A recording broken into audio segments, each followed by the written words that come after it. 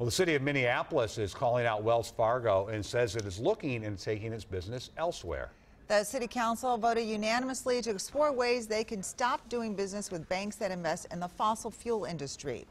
Council points to Wells Fargo's backing of the Dakota Access Pipeline as an example.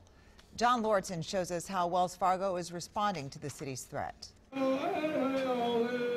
It's nearly 500 miles to where pipeline construction and heated protests have taken place. And Minneapolis council members are sending their own message of protest, not to North Dakota, but just down the street. This is about looking at the options that we have as a city to use our taxpayer dollars in a responsible way, in a way that will protect the environment and the people.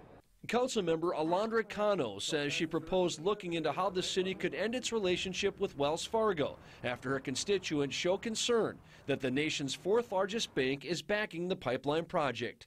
And it's not just the environment she's concerned about. In the case of Wells Fargo, the over 2 million uh, fraudulent accounts that they opened up on behalf of people that they were not aware of. Cano says the bank's fake account scandal also raised red flags.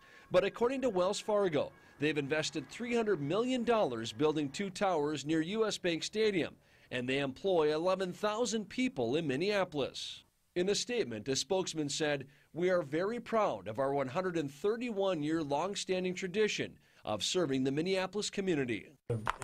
Councilmember Cam Gordon, who wrote the proposal with Cano, says it's possible the city could alienate Wells Fargo, but he's hoping they can work together. And I think that the city wants to be a good partner with Wells Fargo and a good customer or client. So this is something to work out.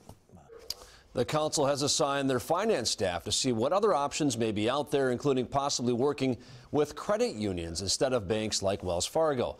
They expect to have a detailed report on this by July of next year. Amelia. All right. Thank you, John. Mm.